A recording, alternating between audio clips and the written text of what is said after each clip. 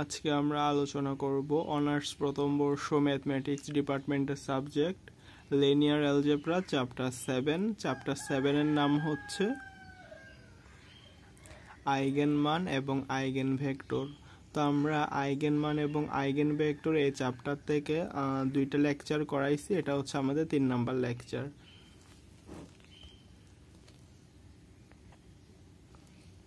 আমাদের এখানে একটা প্রশ্ন দেওয়া প্রশ্ন দিয়ে বলছে, দেখাতে বলছে, এ, এর আইগেন মান সমূহ বাস্তব আমরা এখানের মধ্যে এ ইজিক্যাল টু একটা ম্যাট্রিক্স দেওয়া আছে।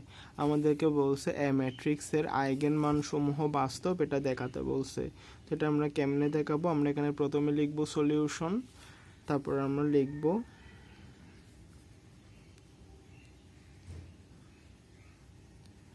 এ ম্যাট্রিক্সের আইগেন মান সমূহ বাস্তব হবে। এ ম্যাট্রিক্সের আইগেন মান সমূহ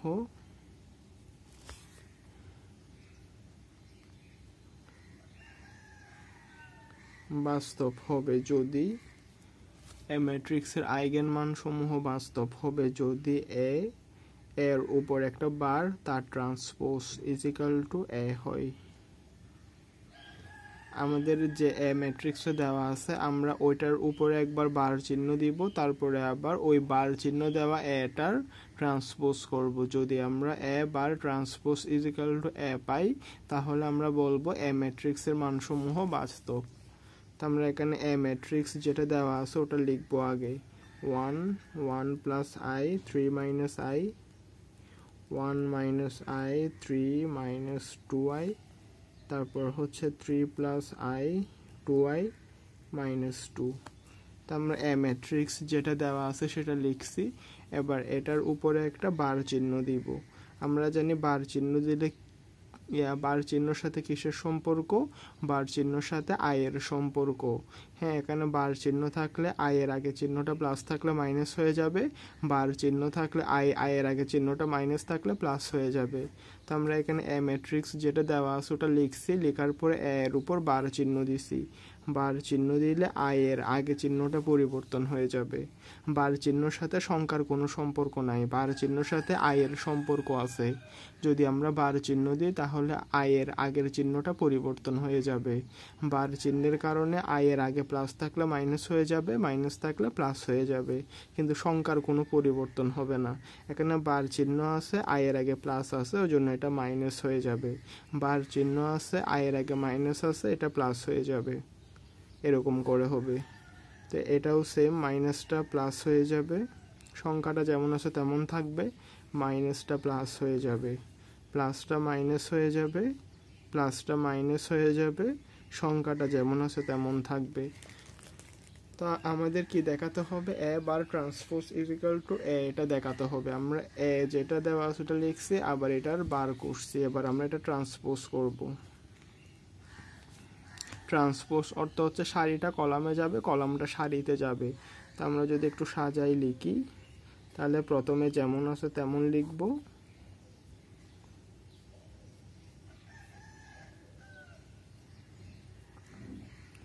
তারপরে এটার উপরে ট্রান্সপোজ বা টি দিব। এবার আমরা এটাকে সারিকে কলামে নিয়ে যাব, কলামকে সারিতে নিয়ে আসব। মানে এটা এদিকে যাবে, এটা এদিকে যাবে, এটা এদিকে যাবে। শাড়িটাকে কলামে লিখছি, এই শাড়িটাকেও কলামে লিখব। এই শাড়িটাকেও এরকম করে কলামে লিখব। তাহলে আমরা কি দেখছি? আমরা, আমাদের প্রথমে দেওয়া ছিল এ, এটাকে আমরা এ বার করছি, তারপর এ বারে ট্রান্সপোর্ট করছি। ট্রান্সপোর্ট করে আমরা যেটা পাইছি, ওটা কি? ওটা ইজিক্যাল টু হচ্ছে এ।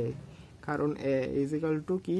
One one plus one three minus one one minus I three minus two I three plus I two I minus two এইটা এবং এটা হচ্ছে কি মিলে গেছে। তো যেহেতু আমাদের কি পাইছি, যেহেতু আমরা পাইছি এ বার, তার উপরে ট্রান্সপোজ ইজিক্যাল টু এ ওই জন্য আমরা লিখতে পারি সুতরাং এ ম্যাট্রিক্সের আইগেন মানসমূহ বাস্তব। সুতরাং এ ম্যাট্রিক্স যদি এরকম হয় এ বা ট্রান্সপোজ ইজিক্যাল টু এ হলে আমরা লিখতে পারি, সুতরাং এ একটি ম্যাট্রিক্স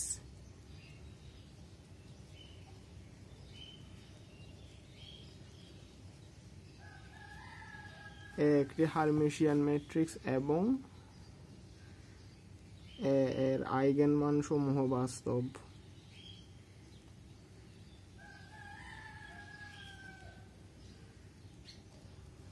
এটাই হচ্ছে আমাদের অ্যান্সার দেখাতে বলছে আমরা লিখে দিব, দেখানো হলো।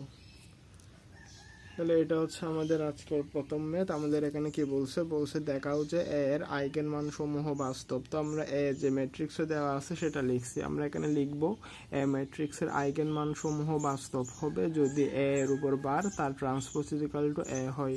তো আমরা প্রথমে এ যেটা দেওয়া আছে সেটা লিখছি, তার উপরে একটা বার চিহ্ন দিছি।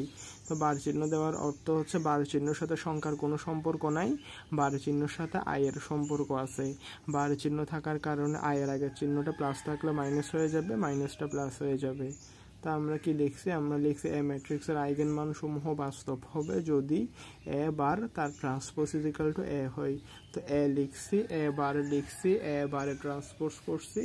দেখছি আমরা এ বারে ট্রান্সপোজ করে এ পাইছি। তো জন্য আমরা লিখব একটি হারমেশিয়ান ম্যাট্রিক্স এর আইগেন মান সমূহ বাস্তব।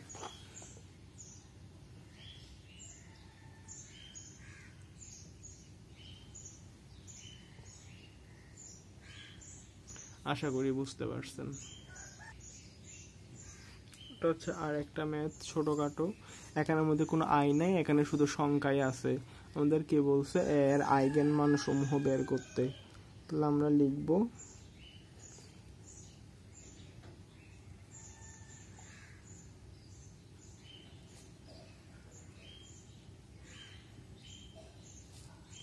এর আইগেন মান সমূহ বাস্তব হবে যদি এর আইগেন মান সমূহ বাস্তব হবে যদি এ বার তার ট্রান্সপোজ ইজিক্যাল টু এ হয়। তাহলে আমরা এখানে এ ইজিক্যাল টু যেটা দেওয়া আছে ওটা লিখব।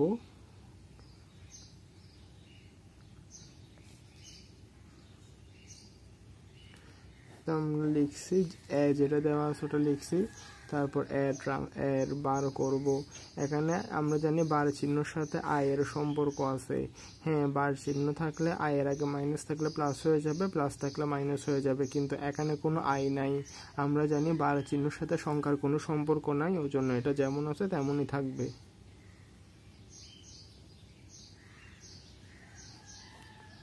তা আমরা এ লিখছি, এ বার লিখছি। এখন এ বারে ট্রান্সপোজ করব। ট্রান্সপোজ করলে সারিটা কলামে যাবে, কলামটা সারিতে যাবে। ওয়ান, টু, মাইনাস থ্রি, এই কলামটা সারিতে গেছে।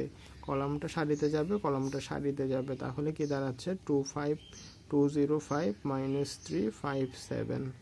তাহলে আমরা কি পাইছি? আমরা দেখছি এটা ইজ ইকাল টু এ কারণ A is equal to one two minus three two zero five minus three five seven তাহলে আমরা লিখব যেহেতু এ বার তার ট্রান্সপোজ ইজ টু এ সুতরাং এ একটি কি? একটি হারমেশিয়ান ম্যাট্রিক্স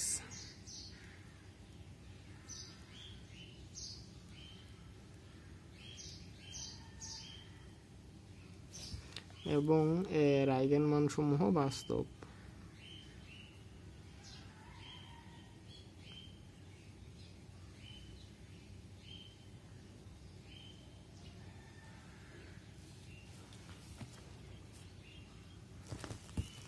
তাহলে এটা হচ্ছে আমাদের সেই ম্যাথটা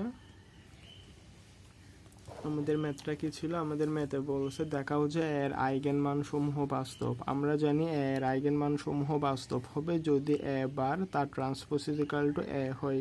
তো আমরা এ লিখছি, এর উপরে বার চিহ্ন দিছি। আমরা জানি বার চিহ্নর সাথে আয়ের সম্পর্ক আছে। বার চিহ্নর সাথে সংখ্যার কোনো সম্পর্ক নাই। এখানে বার চিহ্ন আছে, বার চিহ্নর সাথে সবগুলো সংখ্যা আছে। এজন্য বার চিহ্নের সাথে সংখ্যার কোনো সম্পর্ক নাই। এজন্য যেমন আছে তেমনই থাকবে, কোনো পরিবর্তন হবে না। তো আমরা এ লিখছি, এবার লিখছি, এবার, এবারে ট্রান্সপোর্টস করছি। ট্রান্সপোর্টস করলে শাড়িটা সরি ট্রান্সপোর্টস করলে শাড়িটা কলামে যাবে, অথবা কলামটা শাড়িতে আসবে। তো আমরা ট্রান্সপোর্টস করছি ট্রান্সপোর্টস করে কলমটাকে শাড়িতে নিয়ে গেছি, কলমটাকে শাড়িতে নিয়ে গেছি, কলমটাকে শাড়িতে নিয়ে গেছি। তো আমরা দেখছি যে এ বা ট্রান্সপোর্টস ইজিক্যাল টু এ তো আমরা লিখতে পারি এ বা ট্রান্সপোর্টস ইজিক্যাল টু এ ওই জন্য একটি হারমেশিয়ান ম্যাট্রিক্স এর আইগেন মানসমূহ বাস্তব। আশা করি বুঝতে পারছেন। কেউ চাইলে স্ক্রিনশট নিয়ে রাখতে পারেন। এটা হচ্ছে আমাদের আরেকটা ম্যাথ। আমাদের ম্যাথের প্রশ্নে বলা আছে, কেইলি হ্যামিল্টন উপপাদ্যের সাহায্যে এর বিপরীত ম্যাট্রিক্স নির্ণয় করো। তা আমরা আজকে দেখব বিপরীত ম্যাট্রিক্স কেমনে নির্ণয় করে। তো আমরা প্রথমে লিখব, দেওয়া আছে A is equal to one two three five আমরা লিখব এর স্বভাবী ম্যাট্রিক্স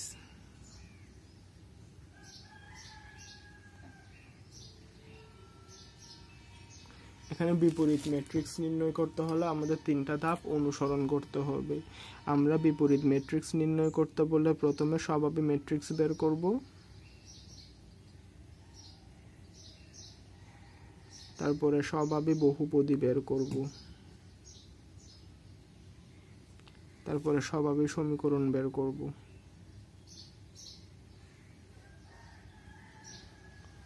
তা আমাদের কি কাজ করতে হবে? বিপরীত ম্যাট্রিক্স বের করতে বলে প্রথমে স্বভাবে বহুপদী, স্বভাবে ম্যাট্রিক্স বের করতে হবে, তারপর স্বভাবে বহুপদী বের করতে হবে, তারপরে স্বভাবে সমীকরণ বের করতে হবে। ওখান থেকে আমরা কেলি, হ্যামিল্টন উপপাদ্যের সাহায্যে বিপরীত ম্যাট্রিক্স নির্ণয় করতে পারব। তো আমরা এখানে প্রথমে লিখব এর স্বভাবে matrix lambda I minus A তো ল্যামডার তো ল্যামডার মতো থাকবে, আয়ের জায়গায় লিখব ওয়ান জিরো জিরো ওয়ান এর জায়গায় যেটা আছে ওটা লিখব। আমরা এদিকে পাশে দিয়ে লিখে দিব, ল্যামডা হচ্ছে এখানে একটা স্কেলার আর আই হচ্ছে একটা একক ভেক্টর। ল্যামডা স্কেলার আই একক vector, I is equal to one zero zero one আমরা আবার যদি এখানে ক্যালকুলেশন করি, lambda zero zero lambda minus one two three five আর যদি আমরা ক্যালকুলেশন করি lambda minus Y zero minus three মানে three minus three zero minus two মানে হচ্ছে minus two lambda minus five তা আমরা আমাদের স্বভাবী ম্যাট্রিক্স বের করে ফেলছি। আবার আমরা লিখব এর স্বভাবী বহুপদী।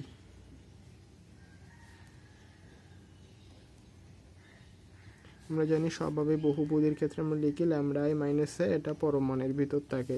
তারপর আমরা এটা পরম মান না, এটা হচ্ছে নির্ণায়ক চিহ্ন। তো আমরা এখানের মধ্যে আবার নির্ণায়ক ইউজ করব।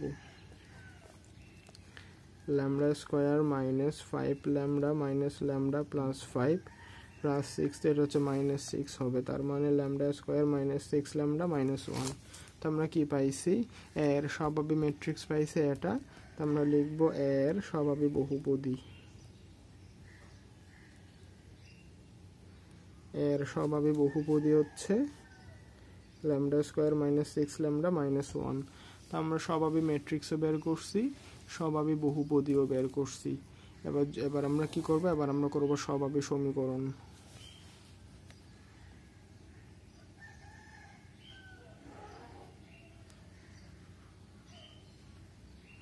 এর স্বভাবী সমীকরণ হচ্ছে ল্যামডা আই মাইনাস এ, এটা ইজ টু জিরো তো আমরা এটা ইজ ইকাল টু কত পাইছি? Lambda square minus six lambda minus one is equal to zero হ্যাঁ তো আমরা এখানে কি লিখব? সুতরাং এর স্বভাবী সমীকরণ।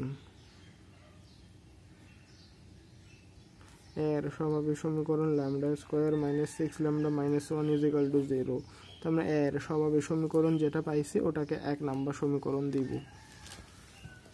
তাহলে আমাদের প্রশ্নে কি বলছে? প্রশ্নে বলছে কেইলি হ্যামিল্টন উপপাদ্যের সাহায্যে এ ম্যাট্রিক্সের বিপরীত ম্যাট্রিক্স নির্ণয় করো। তো আমরা এ ম্যাট্রিক্সে যেটা দেওয়া আছে ওটা লিখছি, তারপরে আমরা বিপরীত ম্যাট্রিক্স নির্ণয় করতে হলে তিনটা ধাপ অনুসরণ করব। প্রথমে স্বভাবী ম্যাট্রিক্স বের করব, তারপর স্বভাবী বহুপদী বের করব, তারপর স্বভাবী সমীকরণ বের করব।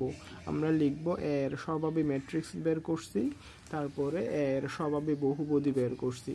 এখন এর স্বভাবী সমীকরণ বের করছি, ওই স্বভাবী সমীকরণটাকে এক নাম্বার দিছি। এবার আমরা পিছনের পেজে যাব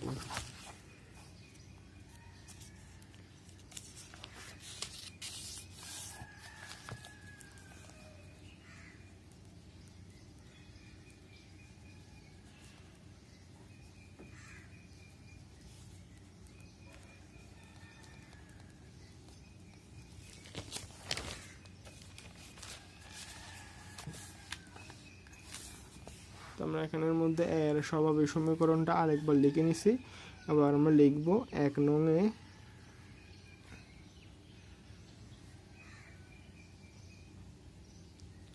কেইলি হ্যামিল্টন উপপাদ্য প্রয়োগ করে পাই। এক নঙে কেলি হ্যামিল্টন উপপাদ্য প্রয়োগ করলে আমরা কি পাবো? জাস্ট ল্যামডার জায়গায় আমরা এ বসাই দিব। এক নঙে এক নঙে কেলি হ্যামিল্টন উপপাদ্য প্রয়োগ করে পাই স্কোয়ার মাইনাস সিক্সে minus one is equal to zero. তো আমরা এটাকে আবার যেটা পাবো ওটাকে এ দ্বারা ভাগ করে দিব।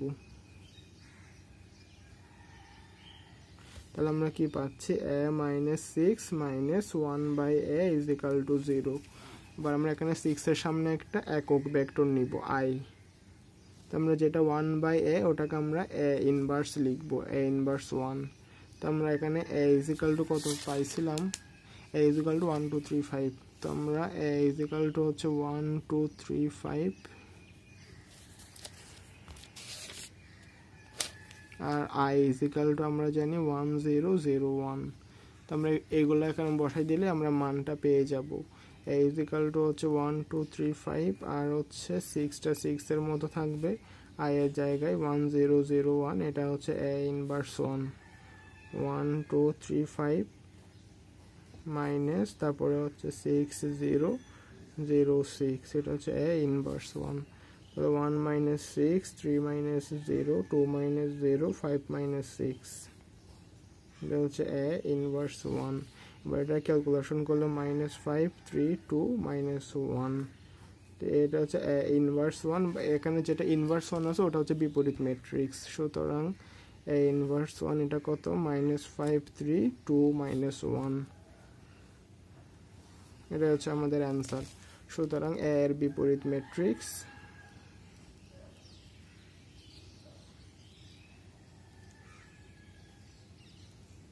এর বিপরীত ম্যাট্রিক্স কত? A inverse one is equal to minus five three two minus one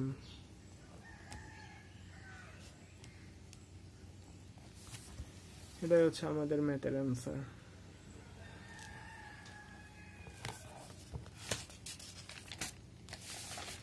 এটা ছিল আমাদের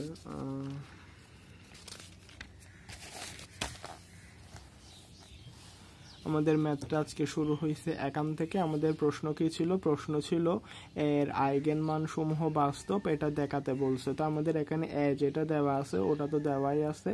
আমরা এখানে এর আইগেন মানসমূহ বাস্তব। এইরকম দেখাতে বললে আমরা প্রথমে লিখব এর আইগেন মানসমূহ বাস্তব হবে যদি এ বার, তার ট্রান্সপোজ ইজিক্যাল টু এ হয়। তো আমরা প্রথমে এ এ লিখছি, তারপর এ বার লিখছি, তারপর এ ট্রান্সপোজ লিখছি। আমরা দেখছি এ বার, তার উপর ট্রান্সপোজ ইজিক্যাল টু এ পাচ্ছি।